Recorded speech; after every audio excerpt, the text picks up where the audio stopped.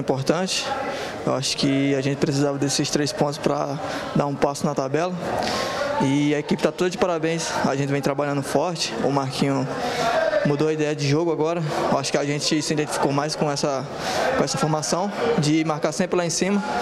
E é isso, agora trabalhar que próxima rodada tem um Palmeiras, é uma equipe muito forte e vamos se dedicar para conseguir mais três pontos dentro de casa. É um jogo difícil, né? O América tem uma boa equipe, é um jogo bem, bem disputado, né? bem competitivo. É, o gramado ele tem exigido um outro tipo de jogo das equipes que têm jogado aqui, né? na questão técnica mesmo, cometem um pouco mais de erros. Mas, no geral, foi uma boa partida, os atletas competiram bem, é né? um grande desafio, está jogando o brasileiro, competição de alto nível. Eles foram muito bem, conseguiram uma boa vitória, né? que nos coloca em uma situação melhor dentro da tabela. Para a gente né, ter grandes objetivos na competição, a gente tem que estar tá vencendo e buscando uma boa classificação sempre para o crescimento de todos. Eu acho que isso é fundamental.